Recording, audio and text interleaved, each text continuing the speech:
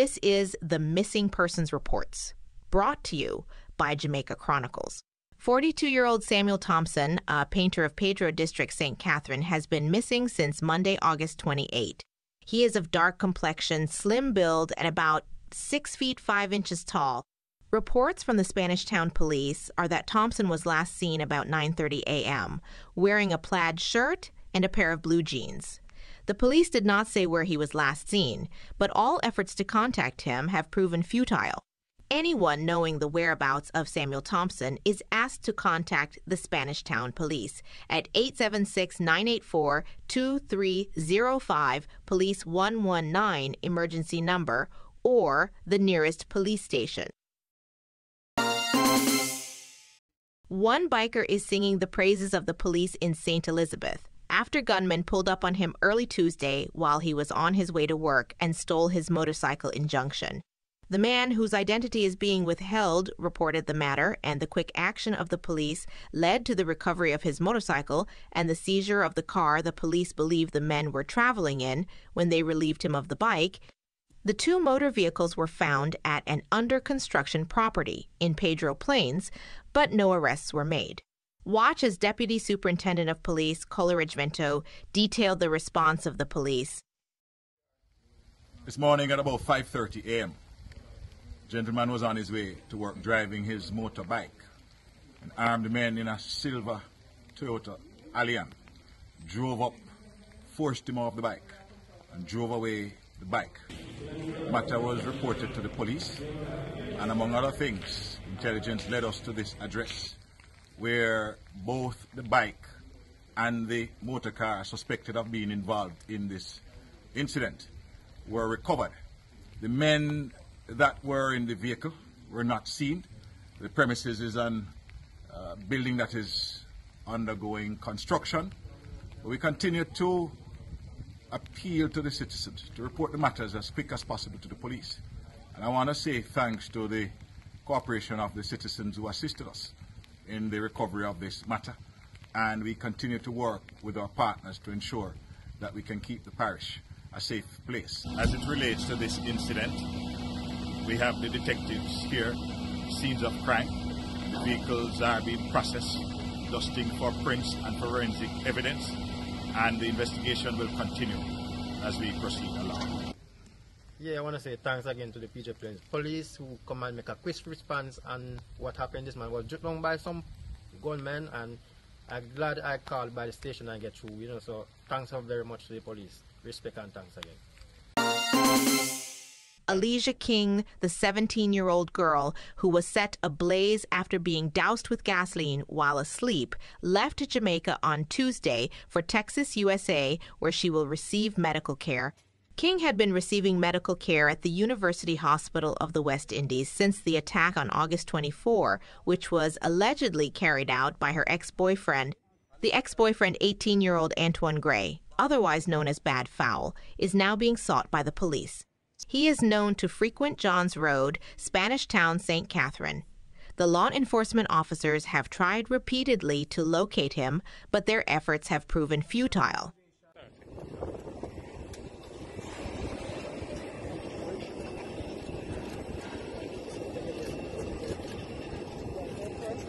Wait,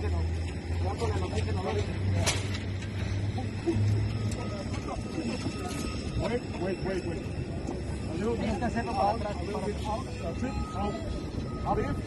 Alisa King is battling for her life. Alisa King were, were at sleep when she were dosed with gasoline and set ablaze. San Myrna Foundation was contacted by her parents for help. However, we stand by and allow the doctors here at the university hospital to do their work and wait until it, the moment is right for us to intervene.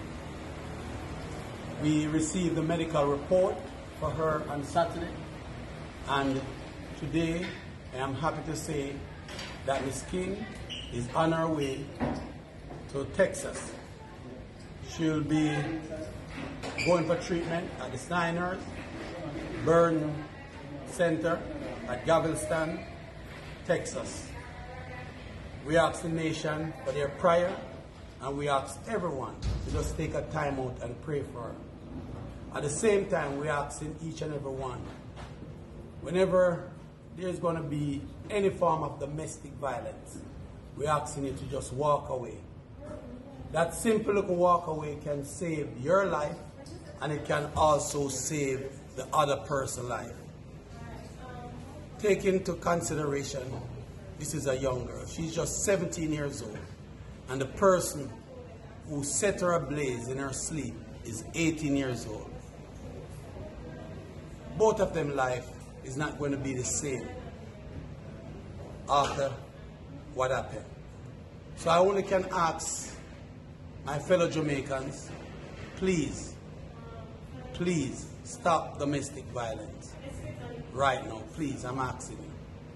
So could you just tell us what was the emotion like out there, sending them off? Well, sending her off today and the cry from her stepmom and the prayers and thanking us and thanking God, it's a very good feelings, but at the same time it's bitter. It's a bittersweet feelings.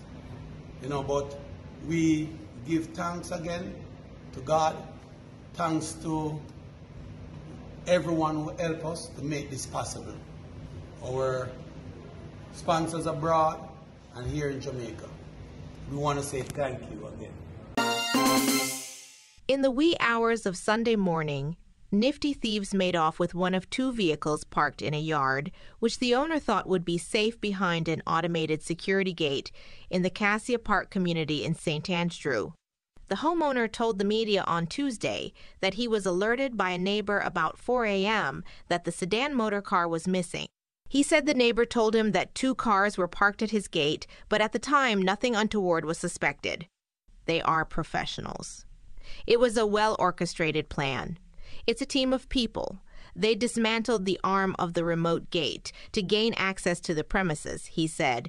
The homeowner said the property also has cameras and a big floodlight, which also did nothing to deter the robbers, as they also skillfully tampered with the camera system. The thieves managed to steal the car by jimmying the lock.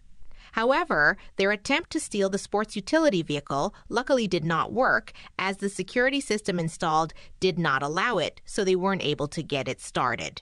The homeowner said the thieves were very meticulous and they didn't break a window or pivot glass. Everything was neatly done. He said the only evidence that anything was amiss was the key barrel that they dug out. The homeowner said he strongly believes they were canvassing the area and deliberately targeted his home despite the very visible security features. The Cassia Park resident, who spent much of Sunday resecuring his property, said while he is grateful the police were able to retrieve the stolen vehicle, lamented that it still comes with a price as he has to fork out the high wrecker fee from his own pocket. The distraught homeowner is suggesting that the police do more patrols in the area to deter other would be robbers. This homeowner was not the only victim of these smooth operators, as over a two week period, according to the operator of a wrecking service, he has been retrieving a number of vehicles that were stolen in the Cassia Park area. He said he has also noticed that the vehicles stolen are both key and button start, and that the robbers do not damage the door or break a glass, but leave them in pristine condition. Greetings, everyone. Greetings, greetings.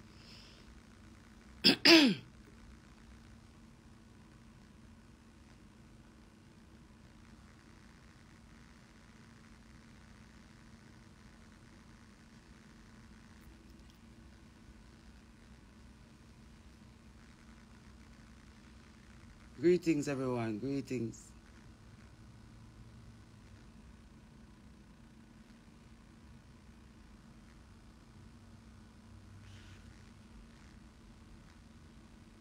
As the sun rise up and burst through the sky, good, great, grand rising to everyone out there in the world this morning.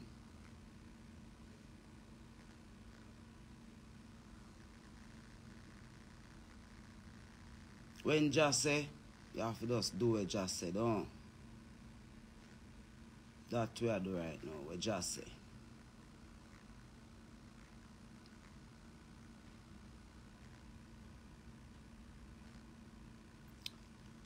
Yeah, you know, it's a beautiful morning on the island.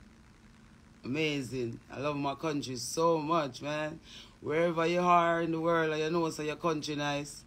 Rep for your country flag, man. Big up your country. Defend your country. Defend your country culture, your country values, and what it means to be whatever flag you are with. That proudness that you are with it with. This morning, I am waving my Jamaican flag through the sky with blood in my eye. Here. Blood in my eye for my country now. So, but they tell the item say only if just say, I go turn on this phone here. So just say, and this phone here turn on this morning for a very serious reason, this phone turned on this morning. Seeing? First of all, let me just say to every single person, we stop and take a look at that video the other day and really and truly like for the first time get introduced to a Queen Ifrica in a real life and what Queen Ifrica do in a real life. Seeing, I'm so humbled, I'm overwhelmed with humbleness.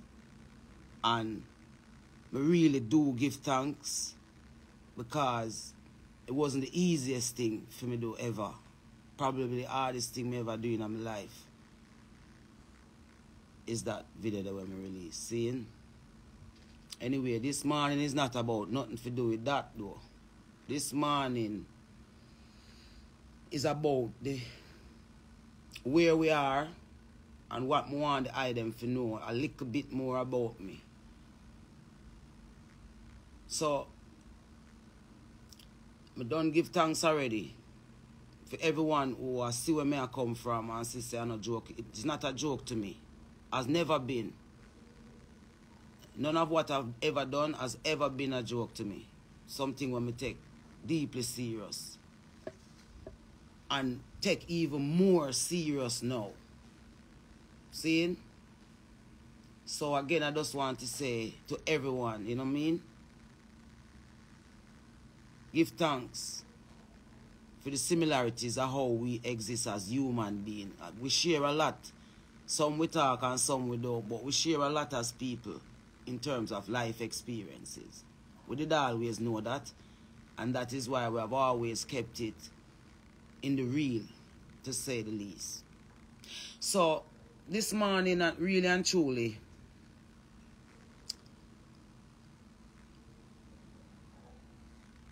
Foota Hype, I just want to say to you, my brethren, give thanks for the reasoning that the eye is putting out there to say, you know, Queen Ifrica have been around forever doing this. And is, and is even going to be around even a little bit more now. That my energy is kind of like balanced. My, kind of, my energy kind of balance out, you know. So, me I go even be that person even more now. So me just want to say to Foota Hype, say, give thanks for your strength, my brethren. But that is not necessarily the kind of strength I'm needing from the eye. Because mental issues is simply that. The mental issue that I am having is that I am living in a country where my government signed a contract to kill one set of people and leave another set. Okay. And I'm now declaring that that set of people is mostly found in our inner city communities here in Jamaica. Our government that is in power now have set up a Illuminati system of governance on the people of the inner city where it's almost as if there is a a prison system set up in the inner cities now. So when you guys out there in the world are asking for Jamaican people, they are deliberately being killed behind the scene by our authorities. That's why you can't see them, that's why you can't hear them, and that is why our voices are now going to be even louder for those people here in Jamaica that you guys are wondering where they are. They are here, but they are being scattered up. So what we're asking, the support I want from you, Foota Hype, is not a Queen Ifrica Day. I want a let's go for Jamaica Day. Let's stand up fully for Jamaica Day. So I want you, Foota Hype, to investigate the Paramount Chief, Richard Currie, and investigate all those organizations that you're batting for and giving voice for. Investigate the PNP government coming in that the country is about to give the reins of, it, of the island to. Investigate more than talking about what Andrew them doing. Fly come to Jamaica and come see what happened on the rock, youth. You cannot stay on your phone in Florida and analyze everything that's happening down here, you have to be on the rock to oversee it.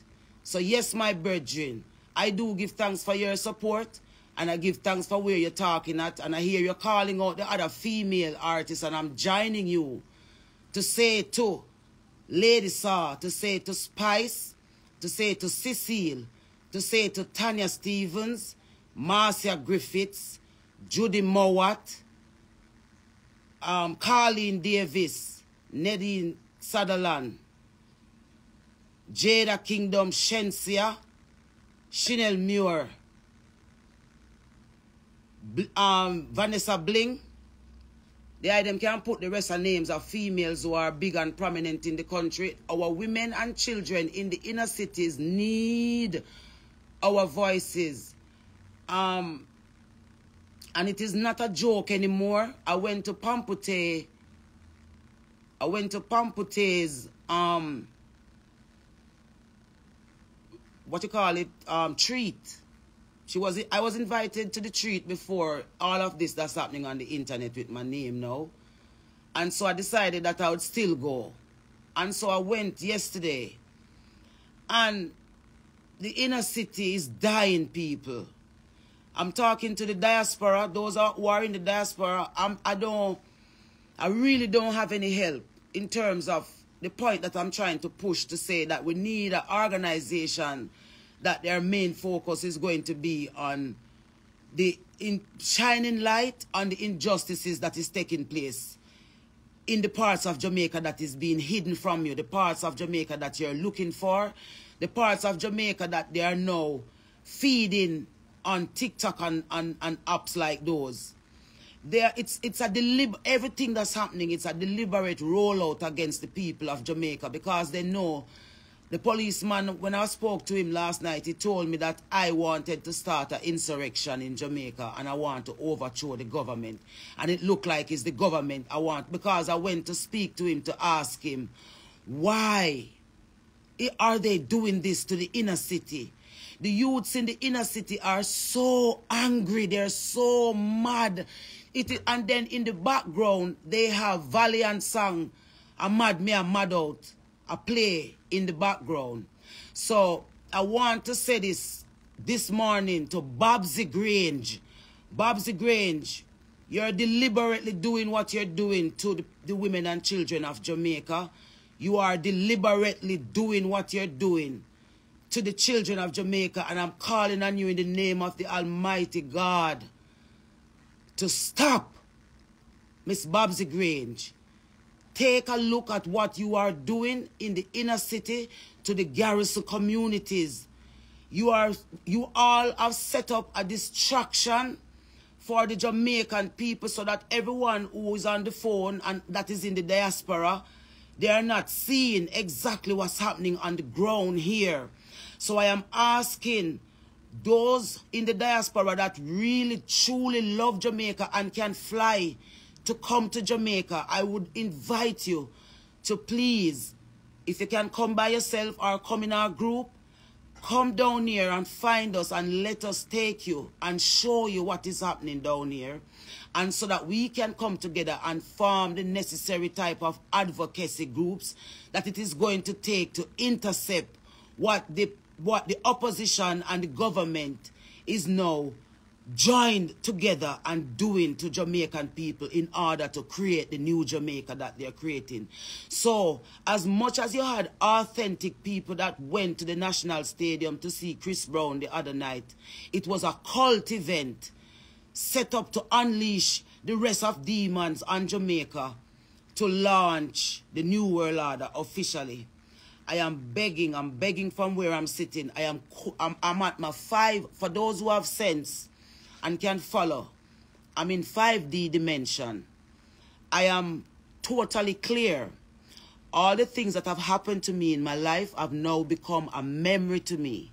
The one that I shared with you all the other day was a sad memory to me.